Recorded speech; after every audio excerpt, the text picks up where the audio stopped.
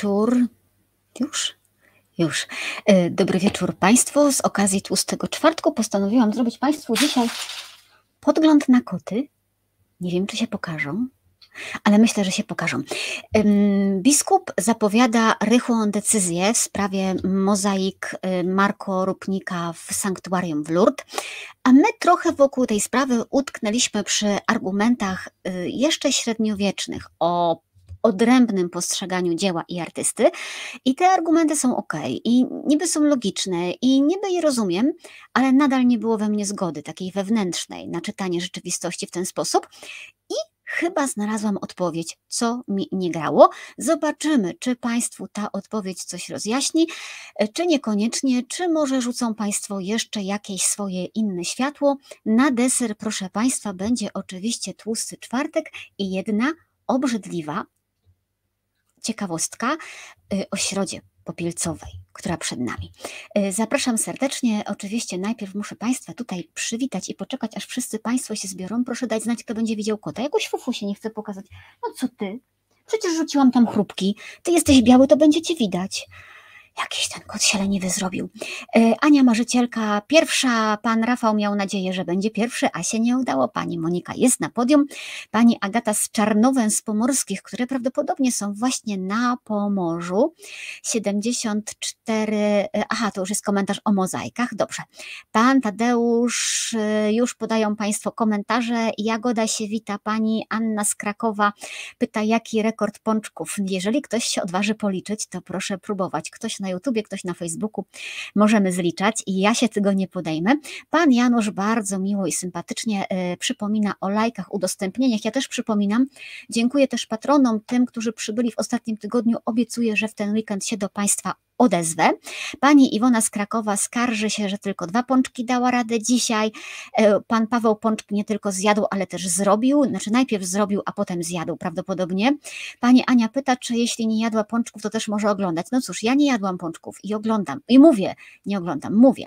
E, pani Karolina M., bardzo lubię takich gości. Pani Karolino, witamy serdecznie ra, pierwszy raz na żywo, zwłaszcza, że się Pani od razu odzywa w komentarzach. To jest przemiłe. E, pan Łukasz, Pani Agata z Niemiec, Pani Agnieszka melduje jednego pączka, pani Barbara z Gdyni, sprawdzam, czy e, Facebook jest, jest, pani Ania pisze, że widzi koty dwa czy jednego, ten jeden jakoś tak nie bardzo. Komarówka Podlaska, pan Janusz, Alicja z zapłakanej deszczem Brukseli, yy, pan Rafał, te 6, to rozumiem, czy 6 kilo spadło, czy 6 pączków wleciało. Jeżeli 6 wleciało, to, to uj. Yy, dobrze, mm, pani Ania też nie jadła dzisiaj pączków. Poznaniu deszcz ze śniegiem pada, no to w Gnieźnie mamy lepiej tak blisko, a nic nie pada. Y, jaki polski zwyczaj dzisiaj? Y, ktoś to chyba nie do mnie. Y, dobrze, pan Wojtek, pączki serowe u pani Kasi, nie nadążam. Dobra, to jest program Reportaż z wycinków świata, Monika Białkowska. Zapraszam, pani Beata pisze, że piecze pączki wielkości orzecha włoskiego, więc można zjeść dużo. Kot jeden, ale duża bestia. No owszem, owszem. Kuba tutaj y, ten, jak to się nazywa? Słowa mi uciekają. Mm, yy, straszliwe to jest. Yy, no w każdym razie mówi, że jest gruby, a wcale nie jest, że mu pączk, że przypomina pączka. Chcę, żebyśmy komplementy mówili, że to nieprawda. No cóż, widzieliśmy się tydzień temu, Kuba, nie oszukasz. Yy, dobra. Powiedziałam, że to jest program Reportaż z Świata, powiedziałam, że Monika Białkowska, podziękowałam patronom. Y, to wracając, proszę Państwa, sześć sztuk, Pan Janusz. Panowie jakoś mają większy żołądek. Y, na chwileczkę jeszcze chciałabym wrócić do poprzedniego programu y, i do rozmowy o sakramentach, bo przyznaję, że Pan Filip też pierwszy raz na żywo, ale z programem od dawna bardzo nam miło. Przyznaję, że mnie Państwo trochę w tym poprzednim programie zaskoczyli. Bo ja rozumiem, chodzi o te sakramenty. Bo ja rozumiem, że my jednak chcemy, żeby było bardziej po ludzku, żeby było bardziej przystępnie, żeby było normalnie, a nie takimi wielkimi literami. No więc w tych komentarzach bardzo Państwo bronili pewnej swobody przy udzielaniu sakramentów, no i padały też słowa o braku zaufania do Kościoła. Mąż pani Agaty zjadł 12 pączków, muszę to powiedzieć głośno, ale w ciągu jednego dnia czy przez tydzień. Potem sobie jeszcze o tym myślałam, o tym, co Państwo pisali i w ogóle o tym zderzeniu trochę z Państwem. takim dobrym zdarzeniu, bo to nie nic złego przecież. E, I pomyślałam sobie, że jednak muszą, wbrew temu, co Państwo czasem tutaj mówią, no to muszą Państwo bardzo ufać poszczególnym księżom.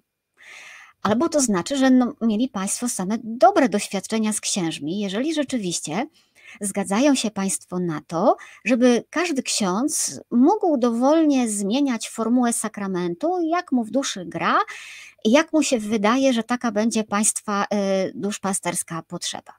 No, moje doświadczenia po prostu są na tym gruncie zgoła inne, y, dlatego jestem niezmiernie wdzięczna za ten dokument i za takie jasne postawienie sprawy, że nie wolno zmieniać nic i już bo spotkałam w życiu e, kilku przynajmniej księży, których mogło bardzo mocno ponieść, gdyby im prawo tego nie zabraniało.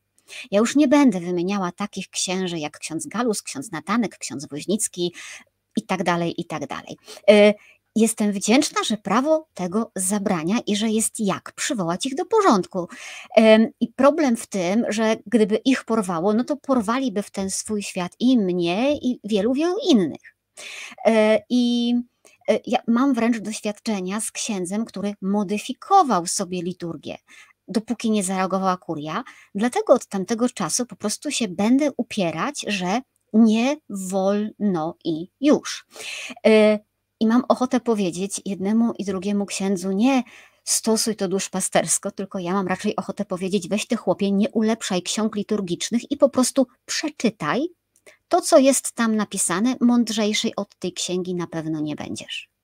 Bo tam w tych księgach jest jednak doświadczenie wieków Kościoła, i nawet jeżeli byłoby użyte jakieś archaiczne słowo, zaraz do tego dojdziemy, no to za tym słowem nadal stoją wieki jakiejś mądrości, a nie Twojej widzimy się tu i teraz. A ja chcę iść nie za Tobą, konkretny księże, który masz fantazję, ale za Jezusem i w kościele, więc po prostu nie przeszkadzaj i nie zasłaniaj. E, I druga rzecz, bo też e, widziałam i e, że to wzbudziło troszeczkę takiego niepokoju i państwa kontrowersji, więc od razu wyjaśnię. Mówiliśmy owszem o formie i materii sakramentu i pytali Państwo, trochę mam wrażenie zaniepokojeni właśnie, o dodawanie do liturgii mszy świętej, nie wiem, modlitwy do świętego Michała Archanioła. Jeżeli taka modlitwa jest odmawiana przed błogosławieństwem, no to jest to pewne liturgiczne nadużycie, no bo ksiądz z własnej woli i fantazji ulepsza liturgię kościoła tak, jak jemu się to wydaje pożyteczne. Po błogosławieństwie może odmawiać, co mu w duszy gra. Przed błogosławieństwem nie powinien, ale proszę Państwa, to żadną miarą nie powoduje nieważności takiej mszy świętej, nieważności sakramentu.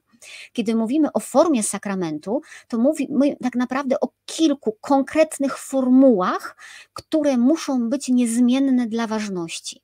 I dla sakramentu Chrztu Świętego to będą słowa imię ja Ciebie chrzczę w imię Ojca i Syna i Ducha Świętego. Kropka. Dla y, sakramentu Eucharystii to będą słowa bierzcie i jedzcie z tego wszyscy, to jest bowiem ciało moje, które za was będzie wydane. Bierzcie i pijcie z niego wszyscy, to jest bowiem kielich krwi mojej nowego wiecznego przymierza, która za was i za wielu będzie wylana na odpuszczenie grzechów, to czyńcie na moją pamiątkę. Kropka.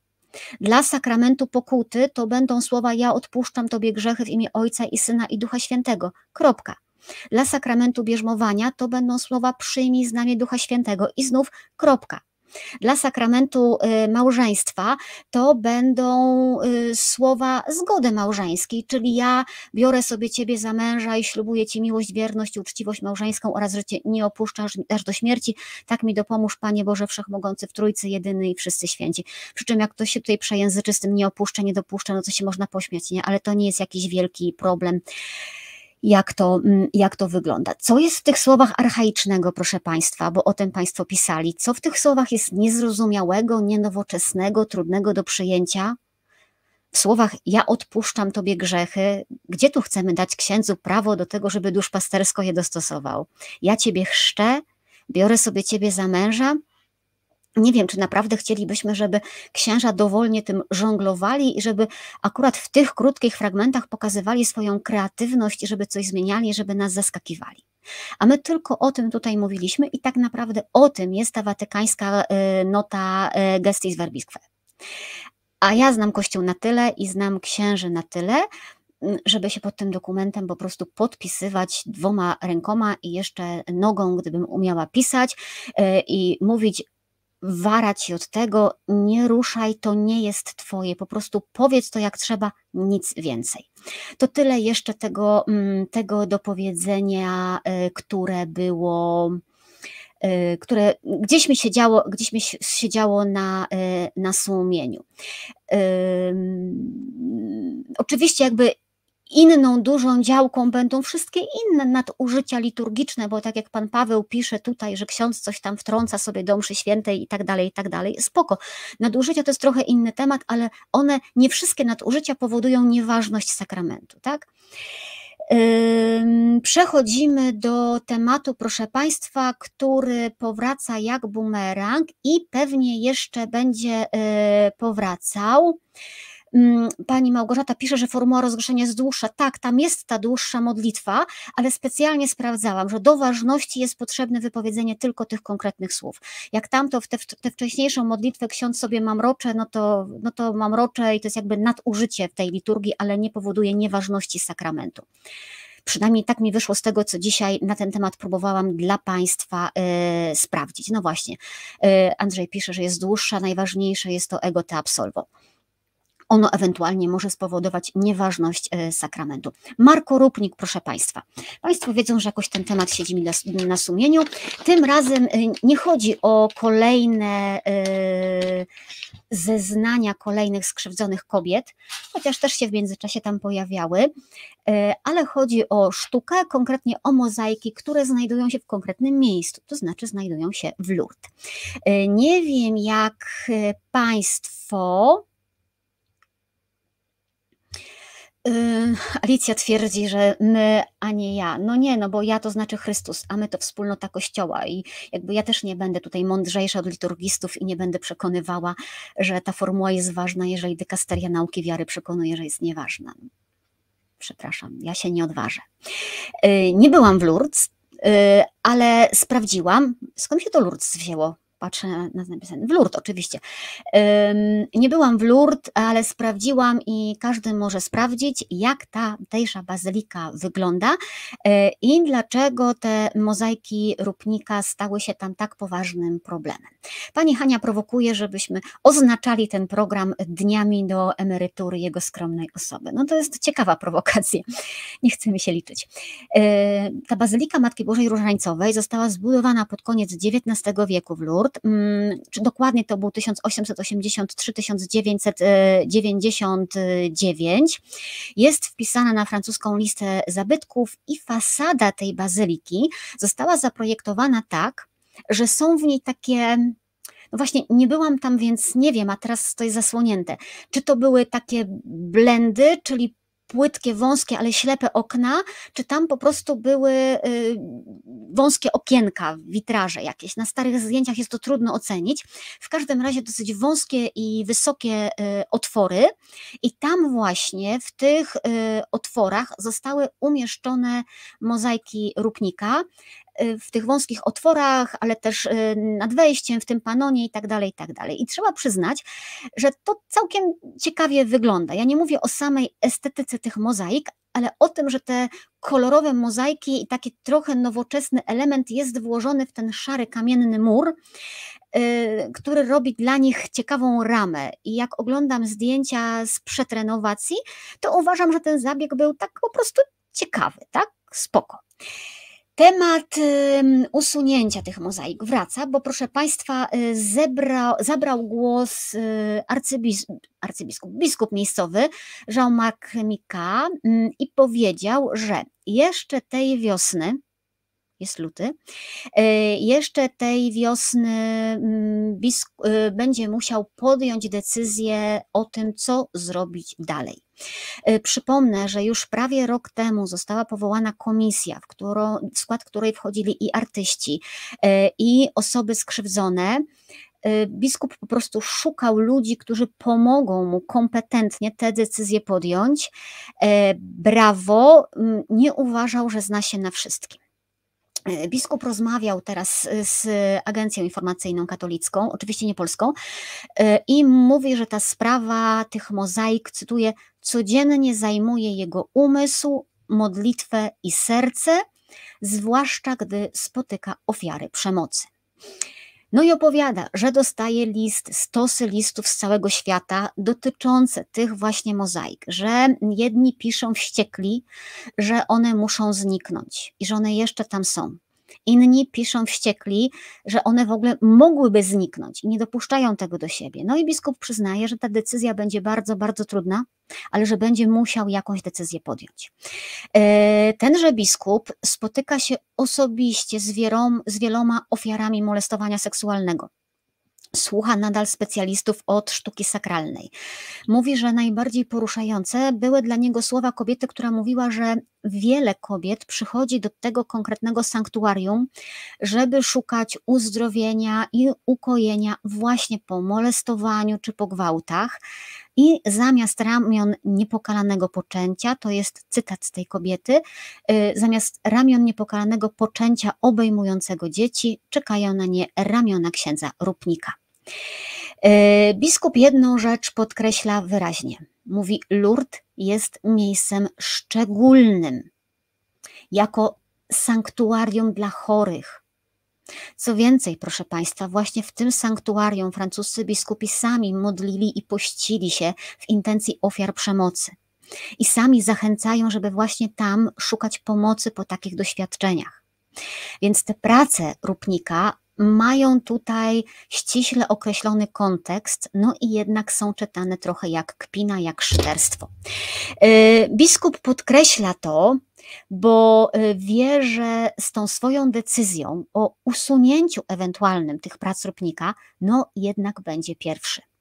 I wie, że w świecie jest ponad 200 takich miejsc, w większości bardzo znaczących, w których odpowiedzialni za te miejsca ludzie no jednak trochę patrzą na Lourdes i czekają.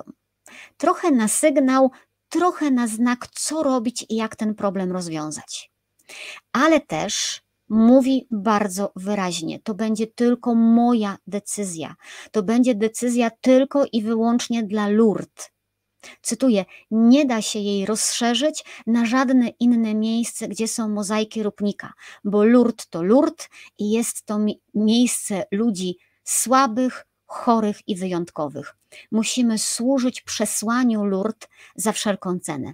Widać bardzo wyraźnie, że on się odżegnuje od takiej roli bycia prowodyrem ogólnoświatowego ruchu niszczenia czegokolwiek. Pani Ola pyta, czy Rupnik uznał swoje winy, przeprosił, zadośćuczynił ofiarom. Trzy razy nie. E, ciekawa jestem, mm, jaką decyzję podejmie y, biskup, y, gdyby ktoś mnie zmusił do obstawienia zakładu, to bym jednak wskazywała na usunięcie. Nie dlatego, że ja bym tego usunięcia chciała, żebyśmy się dobrze y, rozumieli, mm, ale dlatego, że biskup tak brzmi, jakby do takiego rozwiązania prowadził jakby trochę uprzedzał ludzi, że tak się może zdarzyć, jakby się ku temu skłaniał. E, zobaczymy też, no, na ile rzeczywiście wpłynie to na decyzje innych kustoszy takich miejsc, które są jakoś e, naznaczone przez e, Rupnika. Ja przypominam Państwu, że ksiądz Marko Rupnik nadal jest księdzem, tym razem już nie jest jezuitą, ale jest księdzem i posługuje w Słowenii. Przyjrzałam się, proszę Państwa, trochę tak, w Polsce to jest przede wszystkim Kraków, nie? Mm, pan Janusz chyba się szykuje do zapisania listy tych miejsc, bo widzę, że jest w Polsce i dwukropek. Mm, przyjrzałam się troszeczkę tej dyskusji wokół usuwania mamy listy. Jak ja mogę na Państwa liczyć? E, tej dyskusji wokół usuwania i nieusuwania, bo ona wciąż się gdzieś tam toczy i jest ciekawa. Chciałabym do niej wrócić i sprawdzić, co się w tej dyskusji dzieje i jak to robią inni, bo to też jest jakiś ciekawy kontekst. Bo w kościele w Polsce jednak, jeżeli poczytać artykuły, przeważa narracja nie usuwać. My o tej całej sprawie rozmawialiśmy, ale wprost tym głosom się nie przysłuchiwaliśmy. Ja znalazłam takie dwa czy trzy znaczące. Hmm. Ksiądz Wojciech Węgrzeniak y, na swojej stronie internetowej. Tu proszę bez meliski nie podchodzić do tego fragmentu, dobrze? Uprzedzam. Y, ksiądz Wojciech Węgrzeniak na swojej stronie y, internetowej pisał, że się y, dziwi, że się nie dziwi ofiarom, przepraszam, nie, nie dziwi się ofiarom, które mogą mieć trudności. Ja to jeszcze raz muszę przeczytać. On się nie dziwi ofiarom w domyśle przestępstw seksualnych, że mogą mieć trudności w patrzeniu na mozaiki Rupnika, bo jego też 30 lat temu pogryzł pies i on nadal ma dyskomfort, będąc w pobliżu psa. Ale nie może żądać od ludzi, żeby trzymali psy na smyczy. Ot musi, no musi żyć z tym dyskomfortem. No i dodaje dowcipnie, ostatecznie ciąży mi to rzadziej niż własny brzuch. Z jednej strony nie dziwię się ofiarom, że mogą mieć trudności. 30 lat temu pogryzł mnie pies. Nadal mam dyskomfort, kiedy jestem za blisko psa. Na poziomie emocjonalnym i automatycznym no nie potrafię ucieszyć się psami. Na poziomie intelektualnym, cytuję dalej, rozumiem jednak, że ten sam pies był dla kogoś pozytywny. Ja tutaj muszę wziąć, proszę Państwa, głęboki oddech. Ten tekst opublikował też yy, gość niedzielny. Nie wiem, czy na papierze też, ale na stronie internetowej to nadal jest, na stronie księdza również. Wielki wstyd. Mm. Jeżeli ktoś porównuje krzywdę gwałtu do pogryzienia przez psa, to zaczynam się zastanawiać, już nie mówię teraz personalnie, mówię, ktokolwiek by to próbował porównywać, czy jest głupi, czy jest psychopatą i po prostu jak jest psychopatą, to nie jest winien, że nie potrafi się wczuć w emocje drugiego człowieka. E, proszę Państwa, e, mówi to ktoś, kto również był pogryziony przez psa, żebyśmy się dobrze rozumieli. I to tak w tym straszliwym okresie dzieciństwa, kiedy miałam 3 lata i kiedy traumy się zapisują przecież straszliwie. Y, jechałam, mama mnie odwoziła do przedszkola, przesiadałyśmy się na przystanku, na przystanku był sklep. Mama tam zawsze robiła zakupy, kupowała śniadanie. Ja zostałam przed sklepem, no taki to był czas, że psy i dzieci się zostawiało przed sklepem. Y, no i chciałam pogłaskać przywiązanego tam pieska. Do dzisiaj pamiętam, że to był pudel, kucnęłam obok niego, tak żeby pieska pogłaskać i ten piesek nie ugryzł w kolano. Chyba mocno, bo pamiętam, że było wtedy sprawdzane, czy pies aby na pewno był, y, czy pies na pewno był szczepiony, mama się wtedy bała. No a jak ktoś się dobrze przyjrzy, to na tym lewym kolanie znajdzie bliznę po, po psich ząbkach, tak? Nigdy w życiu, proszę Państwa, nawet by mi przez myśl nie przemknęło, żeby tamto doświadczenie porównywać do gwałtu. Ja to wspominam dzisiaj jako anegdotkę, tak? Już w podstawówce, jak chciałam mieć psa, chcieliśmy mieć psa e, i marzył mi się e, e, polski owczarek nizinny, z bratem chcieliśmy go strasznie mieć.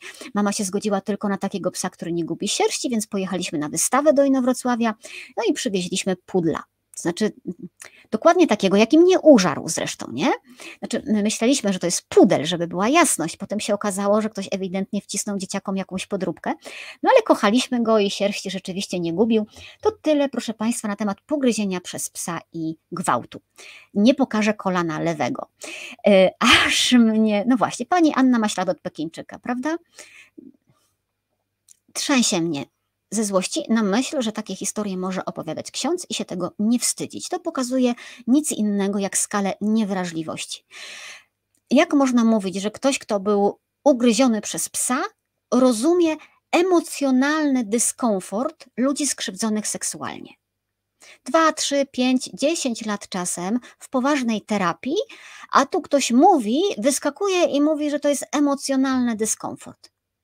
Emocjonalny dyskomfort, proszę Państwa, to ja mam, jak nie wiem, jak zjem za dużo pączków i tak myślę sobie, że jednak może w najbliższym tygodniu lepiej na wagę nie wchodzić. To jest emocjonalny dyskomfort. Mm, dalej ksiądz Węgrzyniak y, mówi, że y, nie da się zero-jedynkowo łączyć dzieła i autora i pyta, czy trzeba skasować Legionistów Chrystusa i Arkę Waniera e, i zakazać oglądania filmów Polańskiego e, i że to jest tak, że w życiu można być świetnym matematykiem, a jednocześnie kiepskim być z WF-u, e, albo że można być doskonałym kaznodzieją i fatalnym celibatariuszem. No nie wiem, czy jest to próba usprawiedliwienia.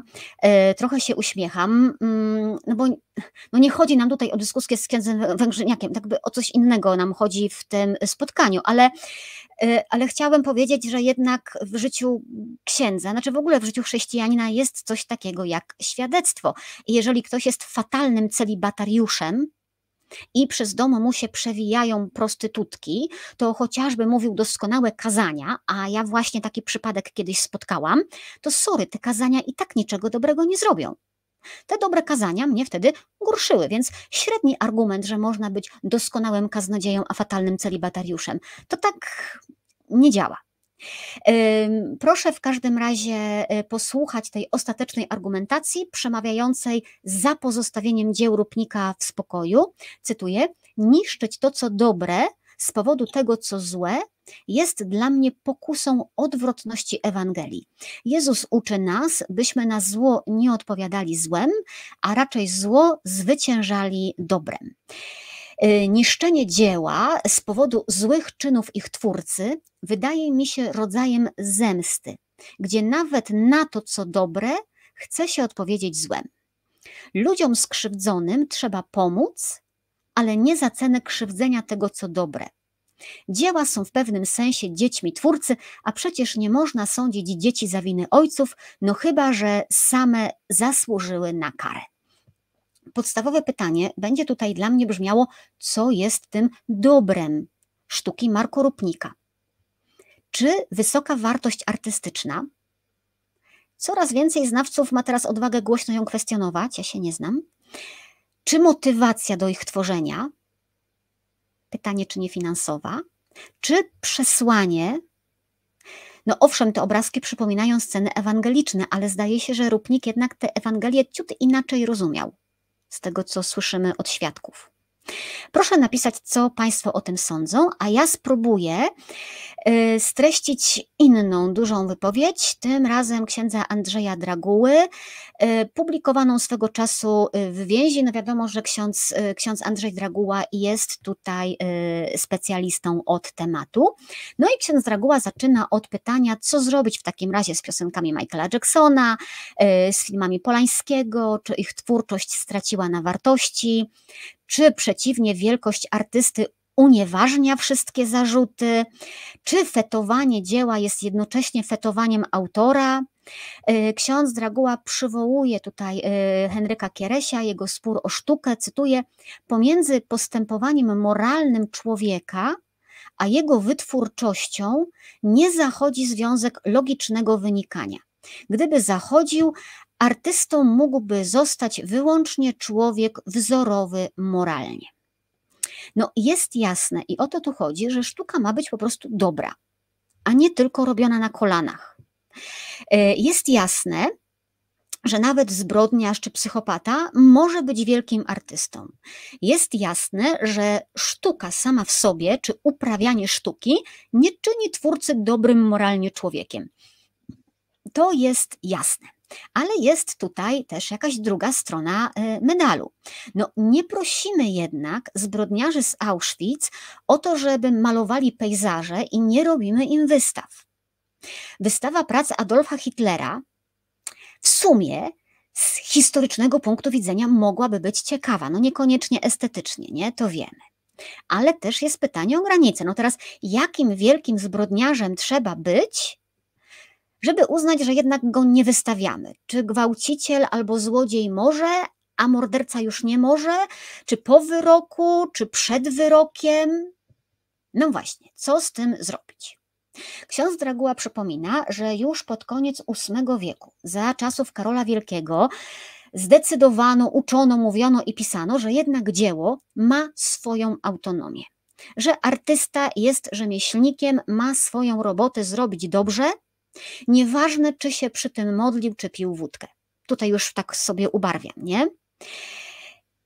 Cytuję: Kościół może złożyć zamówienie zarówno w Sodomie, jak i u Caravaggia. Interesuje go bowiem jedynie wykonane dzieło. Owszem, Kościół pilnuje dzieła, pilnuje tego samego dzieła, czy nie fałszuje ono przesłania i nie fałszuje prawdy. Ale artysty ponoć nie ma pilnować. Tylko, że uważam, że wypadałoby tutaj postawić jednak pytanie, czy sztuka rzeczywiście jest tylko rzemiosłem, czy ona jednak wyrasta z tej idei i jednak jakąś ideę promuje? I czy jakąś ideę niesie, i czy ta idea, którą niesie, nie jest skażona? Bo w przypadku Rupnika to nie jest zdrowa Ewangelia. Tam jest przynajmniej przedziwna wizja Trójcy Świętej, nie? I tego pytania tutaj nie mamy, tego pytania nikt nie e, zadaje. E, jeszcze jeden e, dłuższy cytat. Jak zauważa z księdza Draguły, jak zauważa Umberto Eco, w średniowieczu słowa techne i ars odnoszono do działalności zarówno malarza, jak i konstruktora łodzi albo nawet golibrody. Nikt się nie zastanawia nad kondycją moralną swojego hydraulika czy fryzjera, czy fryzjera czy hydraulika, który przychodzi naprawić nam kanalizację. Nikt się nie zastanawia, czy przypadkiem nie znęca się nad żoną. Ale gdy przychodzi zapytać o piosenkarza, reżysera firmowego, autora książki, nagle sobie przypominamy różne nieprzyjemne fakty z jego życia. Dlaczego? Nie ulega wątpliwości, że samo godne potępienia postępowanie artysty nie jest w stanie skazić dzieła, które wykonał, Doskonale o tym wiemy, pisze ksiądz Draguła. Prawdę mówiąc, ja nie jestem pewna, czy chcę się z tą myślą zgodzić i czy jest nam to do końca obojętne, nawet z tym fryzjerem i hydraulikiem. Czy to nie jest nazbyt optymistyczna wizja? Ja mam wrażenie, że to, jaki to jest człowiek, jakiej moralności, czy to wpływa na jego dzieło, jest nam obojętne, dopóki o tym nie wiemy. Ale Gdybym wiedziała, gdybym szukała projektanta, który zaprojektuje mi dom, to nie poszłabym do faceta, o którym bym wiedziała, że był skazany za pedofilię. Sorry, nie, miałem barierę. Gdyby Państwo wiedzieli, że nie wiem, pani fryzjerka regularnie w domu bije swoje dzieci, tak że mają założoną niebieską kartę, to czy machnęliby Państwo na to ręką, bo ona świetnie strzyże? Czy to by nie miało wpływu na odbiór tej jej pracy? No, mi się jednak nie wydaje.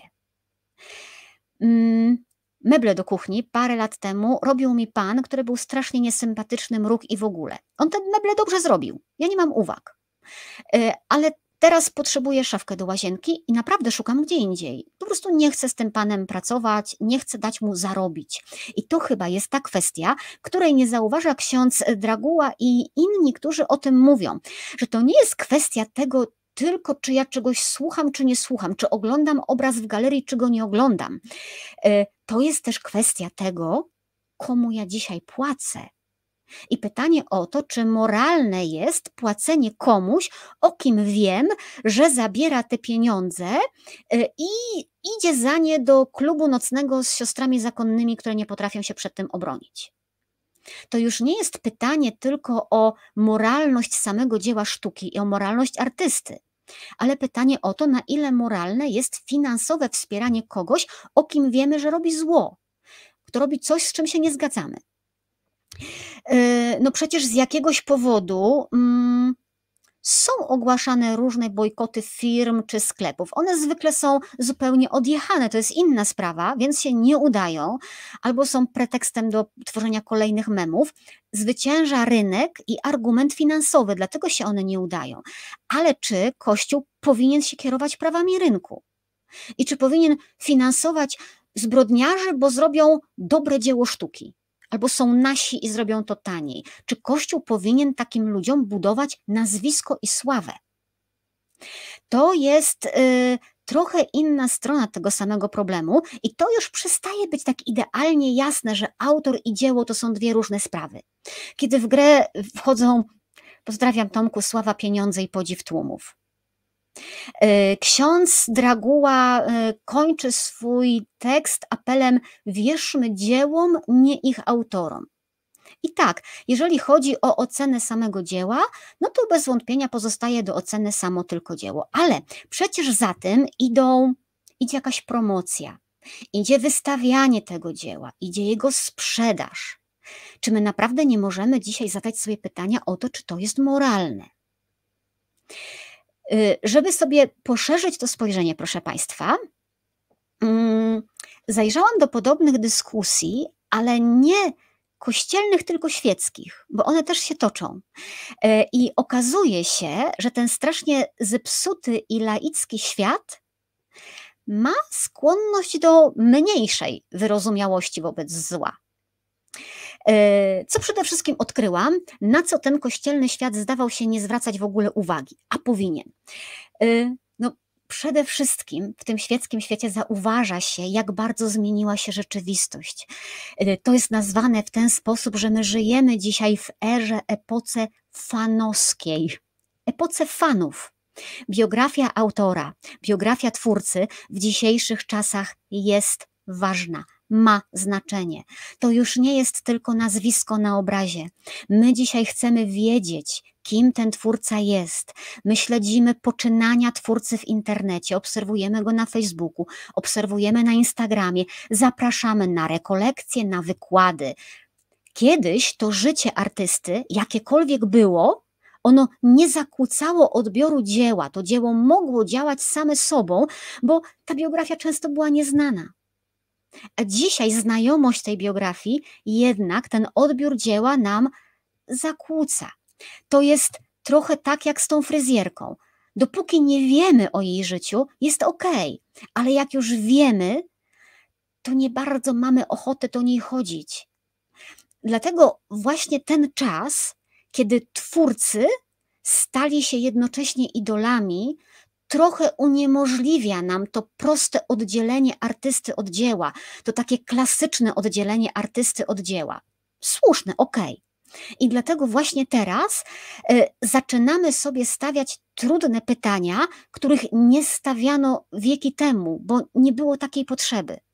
My się nie oburzamy, proszę Państwa, y, na to, że Caravaggio był mordercą, bo Caravaggio y, to dla nas po prostu jest dźwięczne nazwisko i niesamowite światło na obrazach. To nic nie znaczy. Ale jeżeli ktoś był, nie wiem, fanem Michaela Jacksona na przykład, nie wiem, czy takie zloty istniały, jeździł na zloty fanów, przebierał się za Michaela Jacksona, uczył się tańczyć jak on i nie wiem, pękał z dumy, jak, jak ludzie wołali na niego te Jackson, no to teraz jednak to się zmieniło i już jest jakoś niezręcznie, i już jest jakoś wstyd, i już się nie będzie przebierał. I owszem, piosenki istnieją, ale duża część z nas będzie brała oddech i nie wiemy, czy chcemy iść za tym człowiekiem, bo to jednak coś nam nie gra. Michael Jackson nie żyje. Prawda, że odkrywcze? Znaczy niektórzy twierdzą, że żyje. E, Michael Jackson nie żyje i sam osobiście nie zbiera już profitów, ale są ludzie, którzy żyją. Y, zarabiają na spotkaniach autorskich, zarabiają na koncertach, zarabiają na sprzedaży swoich dzieł, zarabiają na Instagramie jako słupy reklamowe.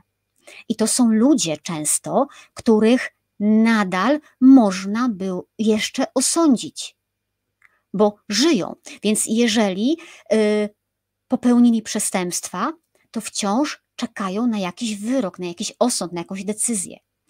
E, I to nie jest przypadek, proszę Państwa, że dzisiaj twórcy, takich nazwijmy, bo artysta to jest może za duże słowo, że dzisiaj twórcy tak drobiazgowo wręcz dbają o swój publiczny wizerunek, bo wiedzą, że właśnie na tym publicznym wizerunku buduje się dzisiaj swoją pozycję zawodową. Ja nie mówię, czy to dobrze, czy źle, mówię, jak działa ten świat. I wiedzą, że jeżeli na takim wizerunku pojawi się rysa, to chociażby dzieło było największe, ludzie się od nich odwrócą, nie będą chcieli im płacić, nie będą chcieli ich słuchać, odejdą reklamodawcy. Y, zmarli nie mogą być pociągnięci do odpowiedzialności, a żywi mogą. I tu też może być jakiś klucz do tego naszego wewnętrznego niepokoju i pytań, co jest słuszne, bo my wiemy, że ten człowiek zasługuje na karę. Wiemy. Z drugiej strony wiemy, że dzieło jest tylko dziełem. Ale z trzeciej strony wiemy, że sama obecność tego dzieła w konkretnej przestrzeni jest dla twórcy, tego, który zasługuje na karę, jest jakąś nagrodą, wyróżnieniem, uhonorowaniem, budowaniem jego pozycji, chociaż wiemy, że zasługuje na karę i nadal żyje. Mm, proszę Państwa, mm, że tak brutalnie tutaj y, zapodam. Państwo mnie słuchają. Y, ufam, że nie po to, żeby patrzeć przez godzinę czy dwie godziny w tygodniu na tę samą gębę, ale ufam, że jeśli Państwo słuchają, no to uznają Państwo przynajmniej jakieś treści za interesujące i za dobre dla siebie. Można przyjąć, że są czymś cennym, jakąś cenną twórczością.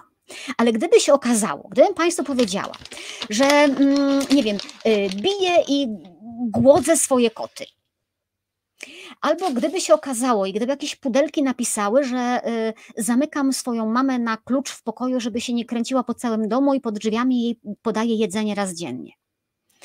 Albo zupełnie od czapy, że nie wiem, dorabiam sobie po godzinach na kamerkach, nie?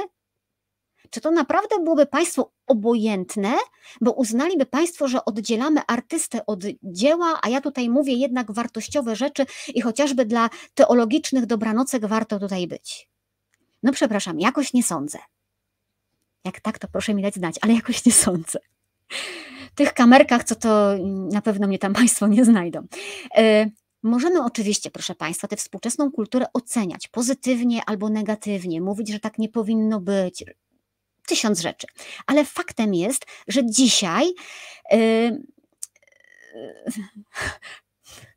roz, rozbawiajmy Państwa komentarzami. Yy, faktem jest, że to dzieło dzisiaj no już nie jest ważniejsze od biografii artysty. Żeby było ważniejsze, artysta musiałby siebie całkowicie ukryć. Jak Borys Fiodorowicz na przykład, tak? Tam biografia nie wpłynie na dzieło, bo znamy tylko imię i nazwisko i nie wiemy nic więcej. Y, ta biografia artysty we współczesnym świecie pozostaje ważna. Czy mówimy o artystach, czy o twórcach, tak? bo czasami artysta jest nad wyraz y, łaskawy. Y, bo z tym artystą czy z twórcą jakoś się możemy identyfikować, więc on nas może rozczarować, może nas zawieść, może nas oszukać. Jesteśmy emocjonalnie związani dzisiaj. Niech ktoś wytłumaczy Reniferowi, o jakie dorabianie na kamerkach chodzi, bo ja nie mogę tego powiedzieć głośno, bo to jest takie dorabianie z cyklu tych, za które zamknęliby mi program, gdybym y, o tym powiedziała. Y, y, polityk, cokolwiek zrobi złego, to nas nie rozczaruje, bo my się z nimi nie identyfikujemy na tym poziomie emocjonalnym. Najlepszym dowodem, proszę Państwa, nie, nie, koty są dobrze nakarmione, proszę się nie martwić. Najlepszym dowodem na to, jak ta biografia jest ważna, co jest dzisiaj, Proszę Państwa, popularność takich serwisów jak Pudelek. W Polsce jest tego mnóstwo, ale tak jest na całym świecie. Kto jest bohaterem tych plotek? Twórcy. Twórcy muzyki, twórcy filmowi, twórcy teatralni. Czy tam ktokolwiek rozmawia o ich dziełach? No ani trochę, nie?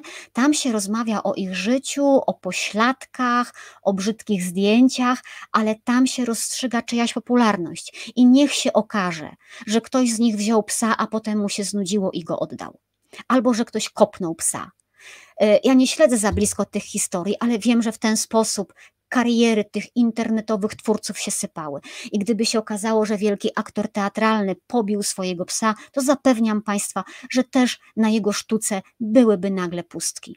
Bo tam się rozstrzyga w biografii człowieka, na czyj spektakl ludzie pójdą, na jaki nie pójdą, bo ten emocjonalny związek z artystą jest ważniejszy i to właśnie zrobiły współczesne media, zwłaszcza media społecznościowe. Dlatego dzisiaj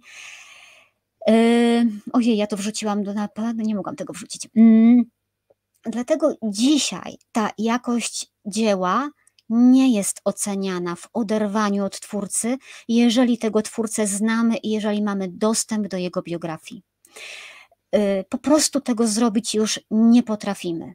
No chyba, że ktoś się dobrze maskuje i siedzi w cieniu. Yy, I mam wrażenie, że ci wszyscy, którzy argumentują właśnie na temat dzieł Rupnika i tego oddzielenia artysty od dzieła, słusznie argumentują, bo tak wygląda klasyczne rozróżnienie, ale ono abstrahuje od tego, jak zmienił się świat. No i że on nie jest taki jak za czasów y, świętego Tomasza y, z Akwinu. Czytałam sobie też trochę na ten temat. Proszę sobie przypomnieć kazus chociażby pani Rowling, autorki Harry'ego Pottera.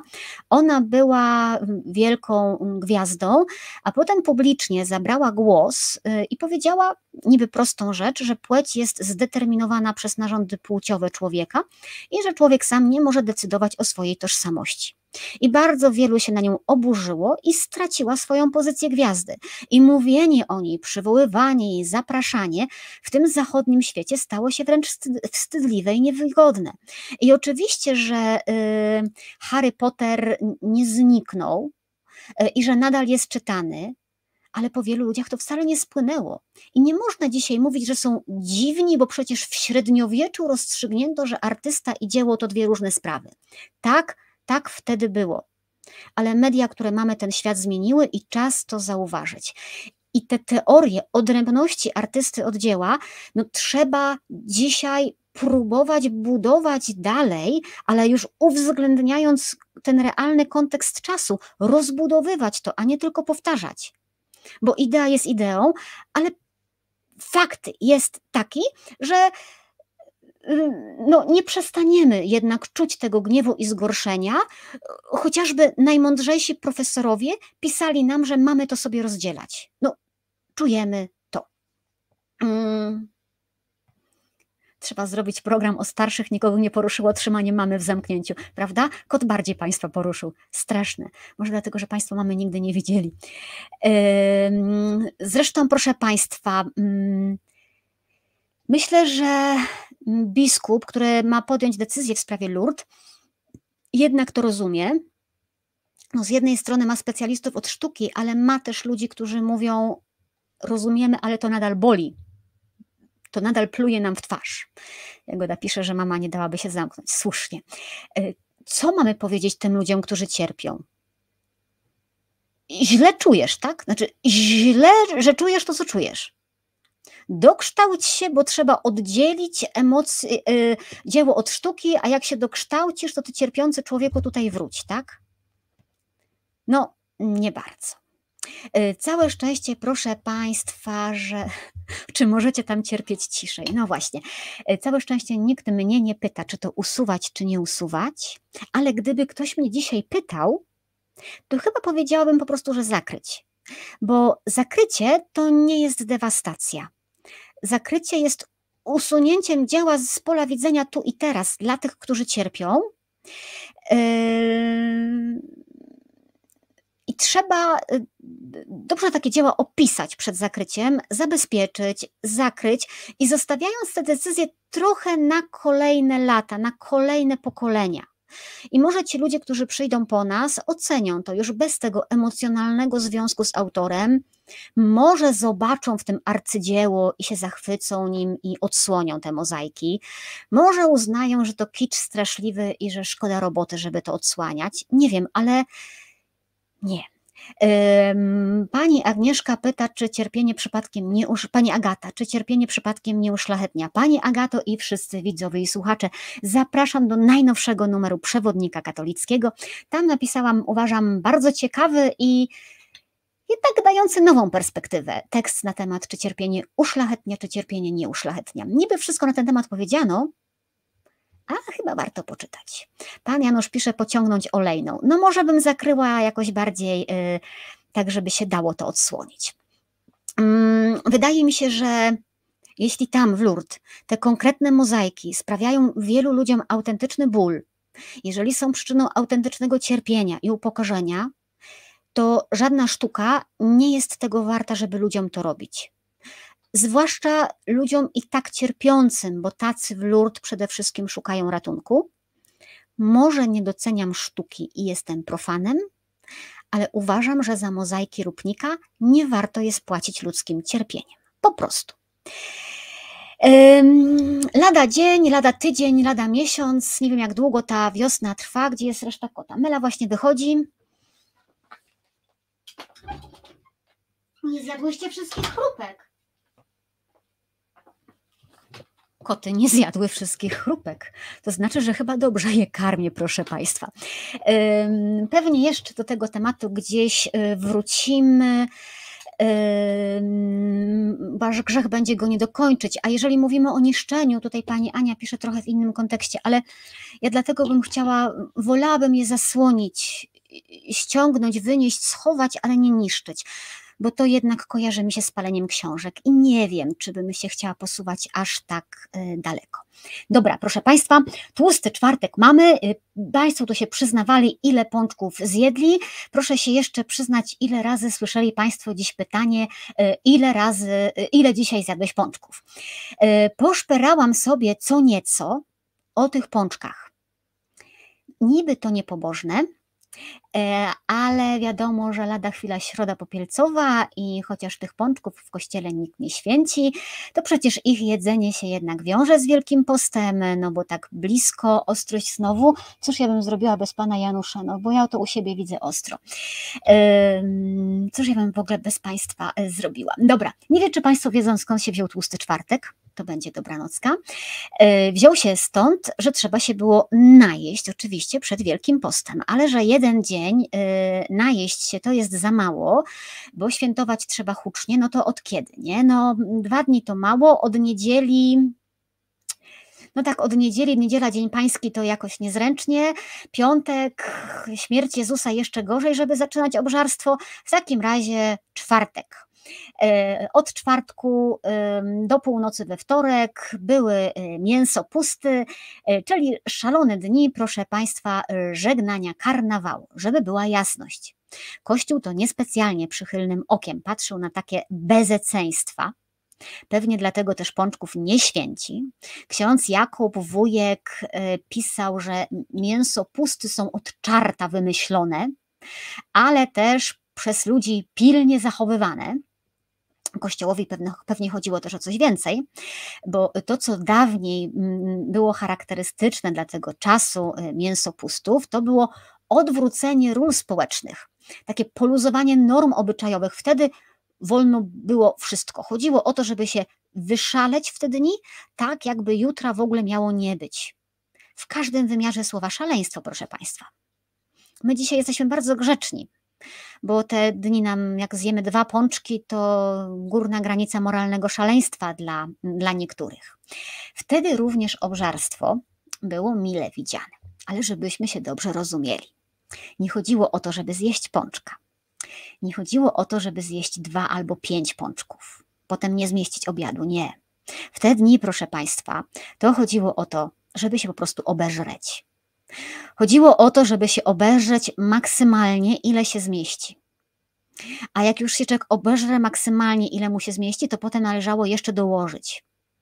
Chodziło właśnie o takie zafundowanie sobie tego obrzydliwego uczucia, które być może Państwo znają, a którego ja osobiście nie znoszę, że człowiek jest wypchany po brzegi i pęknie, jeżeli choćby tylko spojrzy na serniczek.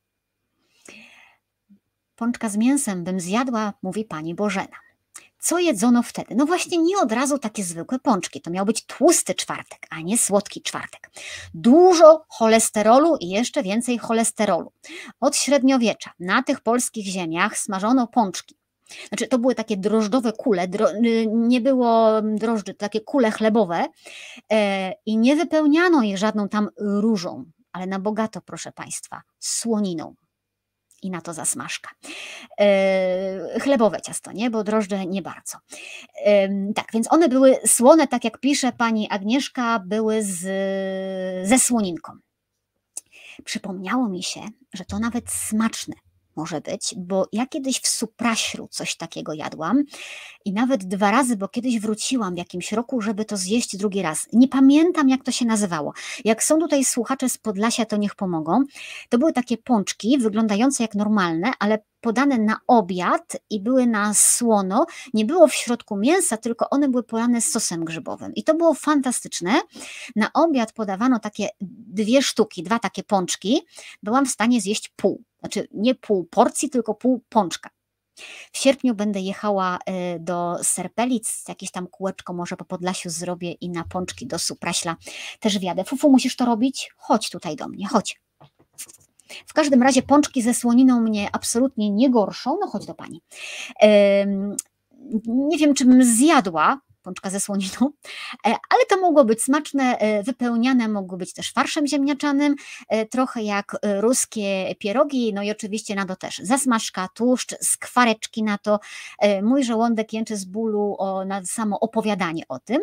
I tak naprawdę, proszę Państwa, dopiero około XVII wieku, jak zaczęły się u nas wpływy kuchni francuskiej, to Polacy, ci majętni, zaczęli jeść słodycze, no i coraz bardziej z tymi słodyczami kombinować i eksperymentować i się uczyć, przynajmniej tak jak mówię, na dworach, więc chłopi pączki ze słoniną, a na dworach pączki z konfiturą różaną.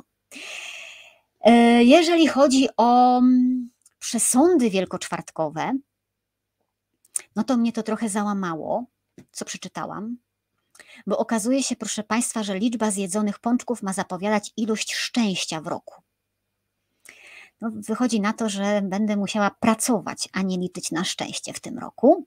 Narobiłam atetypetytu smacznego.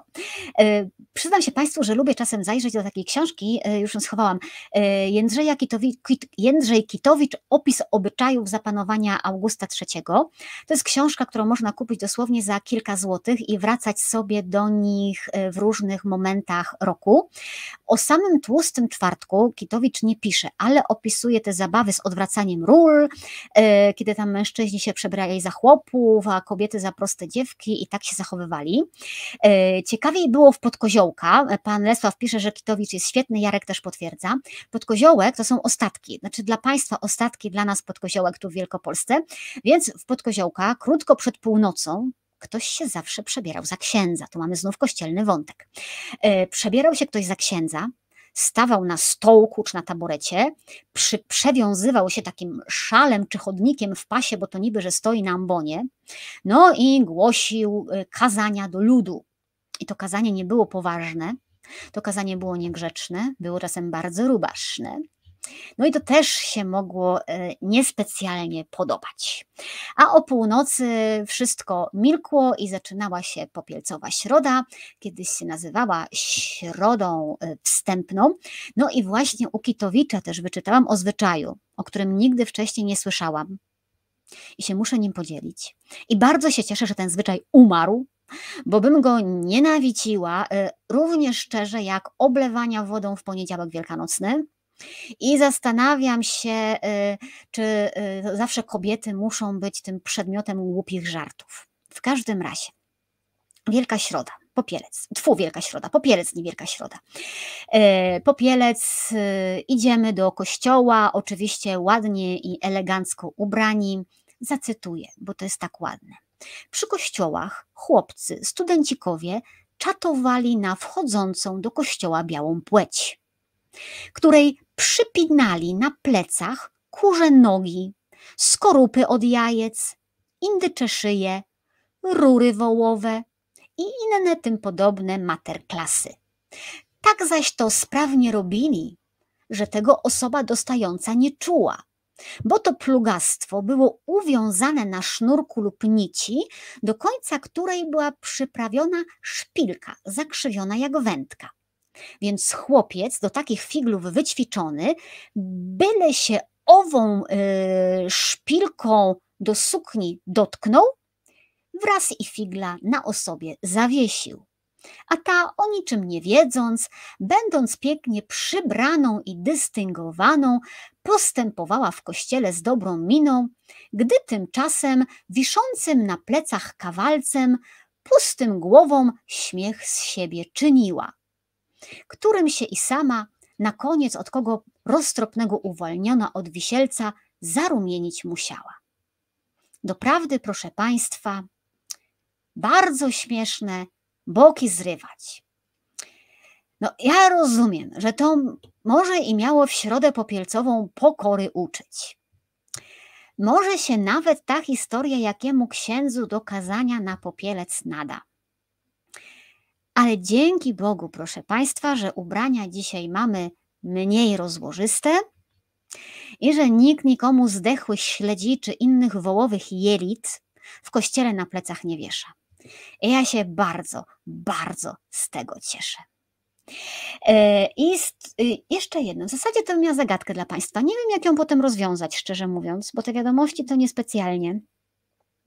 No ale zobaczymy. To tak, to umówmy się, kto pierwszy da komentarz z pozytywną odpowiedzią na początek następnego programu, to ten dostanie ode mnie jakąś książkę. A pytanie jest takie. Hmm. Pytanie jest, jak to zadać? Bo ja to na kazaniu słyszałam i chciałam to wykorzystać u Państwa. Zdechłe śledzie, prawda? Bo jest tak, że kura jak idzie spać, to nie spada z grzędy. Jak ten motyw można wykorzystać na kazaniu? To jest pytanie dla Państwa. Kura, śpiąc, nie spada z grzędy. Jak ten motyw można wykorzystać w kazaniu? Prawdziwą odpowiedź i najbardziej kreatywną odpowiedź, dwie, które padną jak najciekawsze w następnym programie, ale w następnym, to będą książki. Tak, na początek następnego, żeby nie było za szybko i żeby Państwo mogli pomyśleć. Ktoś mi nie grzeszy, zobaczymy, kto będzie pamiętał. O, i to jest dobre. E, I tak się z Państwem dzisiaj żegnam. Proszę już więcej dzisiaj nie jeść tych pączków, bo o tej porze to z pewnością jest niezdrowe. E, dziękuję patronom, e, dziękuję wszystkim nowym patronom, którzy dołączyli po tych ostatnich programach. Tak jak mówiłam, dam Państwu znać, jeszcze w weekend się odezwę, jak do grupy dla patronów patronów y, dołączyć. Y, podrzucam też y, linki. Miałam dzisiaj cichą nadzieję, że pokażę Państwu kotka, trzeciego kotka. Po 23 w nocy wypatrzyłam, że jednak bym go przygarnęła. Czarnego jak smoła, ale niestety zdążył znaleźć inny dom. Znaczy dla niego stety, dla mnie niestety. Tak patrzył, chociaż mówiłam, że nie będzie więcej kotów. Ale na razie nie będzie. E, dobrego weekendu, proszę Państwa, tego ostatniego weekendu karnawału i do zobaczenia w poniedziałek. Nie, nie ma trzeciego kotka. Nie, miał być, nie ma trzeciego kotka. Zagadka, będę czekała na początku następnego programu na odpowiedzi. E, jak Państwo się zdecydują dołączyć do programu, to będzie bardzo miło. A dzisiaj kończymy. To był program Reportaż z Wycinków Świata. Monika Białkowska. Dobrej nocy.